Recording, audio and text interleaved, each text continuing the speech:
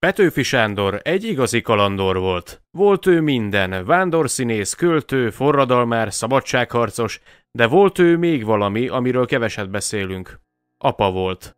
Bizony volt egy fia Zoltán, aki édesapja fiatalkori balhén is túltett. Ne menjetek messzire, ismerjétek meg Petőfi Sándor fiának, Petőfi Zoltánnak az életét.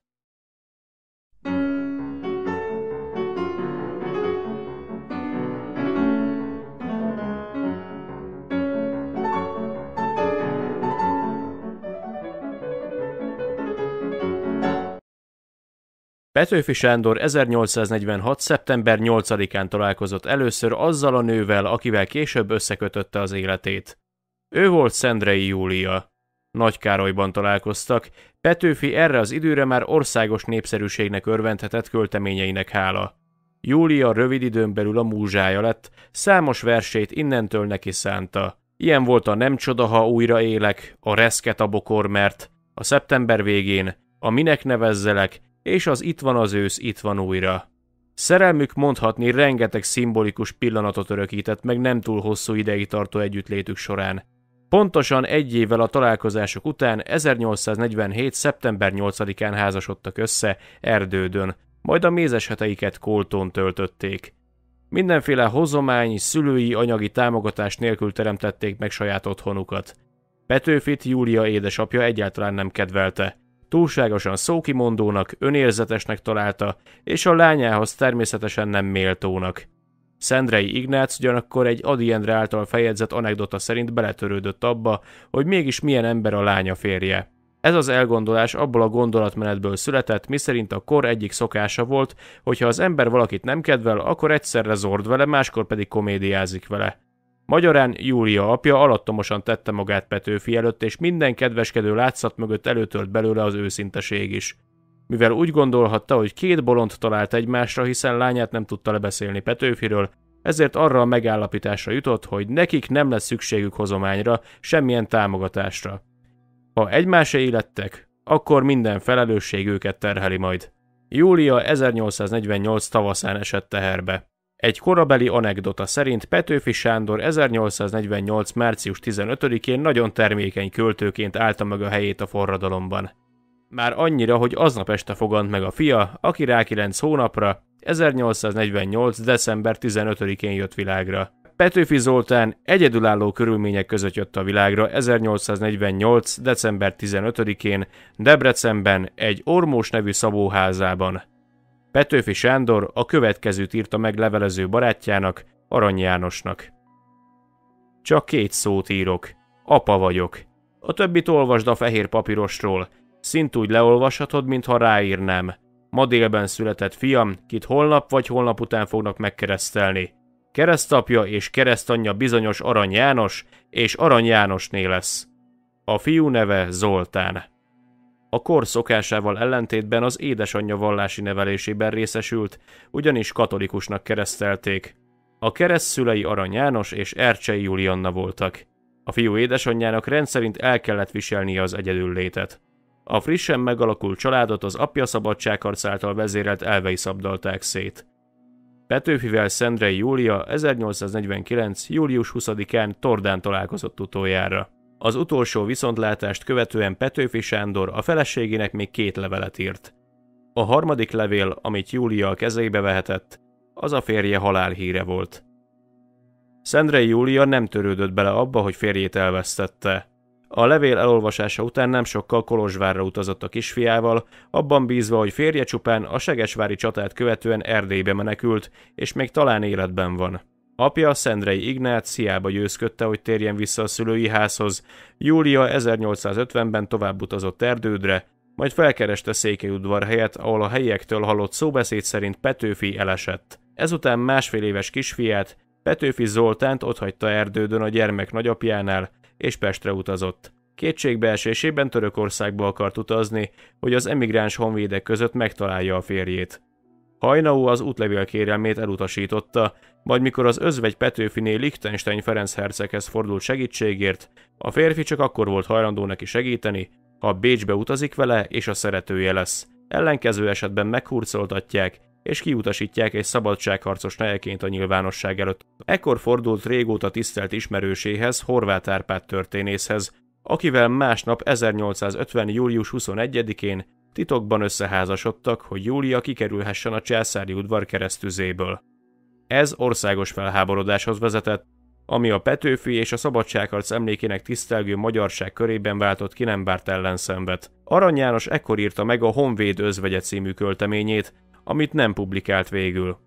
Ebbe a házasságba hozta be magával a fiát, Petőfi Zoltánt, tehát mondhatjuk, hogy innentől mostoha apjánál, Horváth Árpádnál nevelkedett Pesten, azonban a törvényes gyámja Petőfi Sándor öccse, az ő nagybátyja, Petőfi István volt. 1858-ban ugyanis Szendrei Júlia őt bízta meg Zoltán gyámjaként azután, hogy a Magyar Tudományos Akadémia Petőfi Sándor összes költeményének ítélte az akadémiai nagydíjat, ami ezer pengő volt. Ez az összeg gyakorlatilag a szabadságharcos költő fiának öröksége lett, e fölött pedig míg a gyermek nem lesz felnőtt korú, kellett valaki, aki gondnoksága alá veszi az összeget. Így került szóba Sándor öccse, Petőfi István. Petőfi Zoltán a féltestvéreivel rendszeresen leverezett iskolás évei alatt, itt számos olyan tulajdonságát megismerhetjük belőle, amiket az iskolai évei nem feltétlen igazolnak. A levelei kedvességet sugároztak és valósággal játszottak kifejezésekkel. Ezekből a fennmaradt írásokból tudhatjuk például, hogyan is ünnepelte a 16. születésnapját.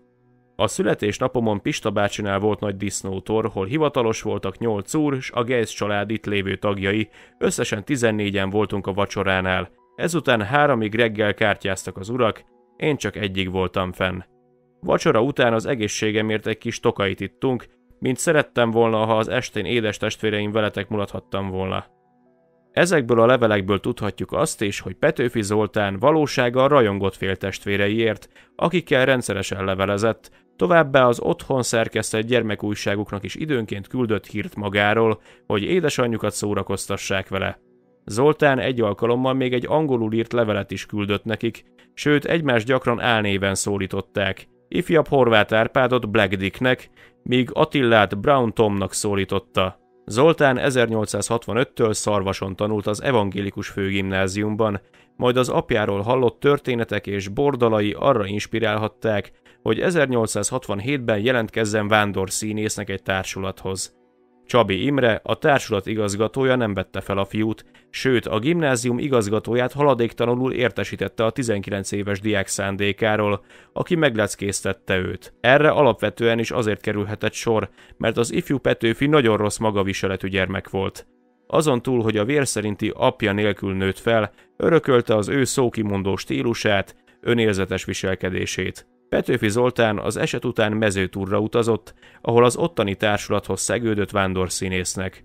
Az iskolát nem tudta befejezni, a főgimnázium hetedik osztályát félbe kellett hagynia, mivel a gyámja és egyben örökségének gondoka, a nagybátyja Petőfi István magához vette Zoltánt, beíratta magántanulónak Csákon, és a második fél évre Pestre vitte. Petőfi István azt akarta elérni, hogy Zoltán az elmaradt vizsgáit be tudja fejezni, tisztességes ember válhasson belőle. A fiú viszont a nevével járó teherrel nehezen tudott megbirkózni. Bármennyire is próbálta apja költészetéből megtudni, hogy milyen ember is volt ő, sokkal inkább kezdett összeroppanni a súlya alatt annak, hogy apja személye egy olyan romantizált szimbóluma a nemzetnek, aki talán abban a formában, ahogy a nép ajkán és az emlékezetében élt, soha nem is létezett, túl tökéletes volt. Ennek a nyomásnak az anyja is kitette. Egyetlen örökségedül nem bírsz tőlük egyebet, csak nevedet, de azt ne feledd el soha, hogy enév, Petőfi, apád nagyjá fényessé tevé, te legalább őrizd meg minden szentől, minden foltól. Petőfi Zoltán 1867. április 20-án Csákóról átutazott Debrecenbe, ahol belépett Láng Boldizsár igazgató társulatába, ahol havi 30 forint fizetésért cserébe színészkedhetett, vagy legalábbis úgy csinált, mint aki dolgozik. A valóság az volt, hogy a híres Petőfi Sándor fia nem volt éppenséggel nagy tehetséggel megáldva színészkedés terén. 1868-ból maradt fenn egy történet, miszerint Szegeden lépett fel a társulattal, azonban Petőfi Zoltán rendszeresen átaludta a próbákat. A társulat igazgatója mindezt csak azért tűrte el, mert ő volt Petőfi Sándor fia. A hangja fátyolos volt, a képességei pedig nem voltak elegendőek ahhoz, hogy a színpadon meg tudja állni a helyét, ezért csak kisebb szerepeket kapott, amihez nem kellett neki nagyon énekelni, de még oly sok szöveget se kellett megtanulnia. Egyszer kapott nagyobb szerepet a Brankovics György című darabban, a fiatalabb fiút alakította. Versírással próbálkozott, de nem ért el vele jelentős sikereket. Ezeknek az alkotásoknak egy töredéke maradt csak fenn. Szegedre költözve a Serház utcában lakott, abban a házban, amiben később Juhász Gyula nőtt fel. Szegeden folytatta a tanulmányait, azonban itt már a fő bevételét nem a színészet, hanem a fordítás, műfordítás hozta meg. Kiválóan beszélt franciául, angolul, azonban a munkában nem látta nagy örömét. Ami pénze volt, azt mind italra költötte, és állandóan a nők után kajtatott. Az első nő, akibe beleszeretett, őt Ábrahám Liszkának hívták, majd nem sokkal utána egy Greislaros, vagyis egy szatócsboltos, egy vegyeskereskedő lányát környékezte meg. A színésznők voltak viszont azok, akikért a legjobban oda volt.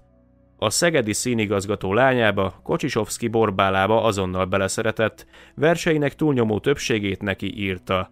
Költeményeiből tudhatjuk, hogy gyakran járt a lány ablakánál, és titokban hallgatta, hogy zongorázik, énekel. Borcsa a Szeged felsővárosi Nátor utcában lakott. Miután Zoltán felismerte, hogy a lány nem csak nem áll szóba veled, de még köszönésre sem méltatja, így az utca túlvégében levő kórista lányhoz járt át, Bereznai Katicához, hogy ott lejjen vigaszra. Petőfi Zoltán valahányszor átjárt Katicához, a hölgy lelkesen fogadta, és viszonozta bókjait. Blaha Luisa fiatal színésznőként néhány színházi szereplés erejéig találkozhatott az ifjú Petőfivel, akire ő így emlékezett vissza később. Rokon szembes, kedves, derék fiú volt, de nem az, aminek mi fantáziánkban megálmodtuk, színésznek pedig éppen nagyon gyengécske volt az eszem adta, de azért becéző szeretettel rajongtuk körül valamennyien, és úgy hiszem, hogy jól is érezte magát, amíg nyugtalan lelke körünkből el nem szólította. Zoltán viszont már születésétől fogva gyenge szervezettel rendelkezett, gyakran betegeskedett, és a bohém élete csak még jobban megbetegítette. A rokoni támogatással rendszeresen járt gyógyfürdőkbe, így esett meg, hogy utolsó nyarát Gleichenbergben tölthette, ahol annyira összetudta szedni magát, hogy visszatért a családhoz Pestre. Ez azonban kevésnek bizonyult. Petőfi Zoltán 1870. november 5-én reggel 7 órakor hunyt el tüdőbajban. A gyászjelentését saját maga írta még a halála előtt két évvel. Másnap temették el a Kerepesi úti temetőbe az édesanyja mellé. 1908-ban a Petőfi Társaság exhumáltatta, a Petőfi család közös sírjába helyezték át földi maradványait.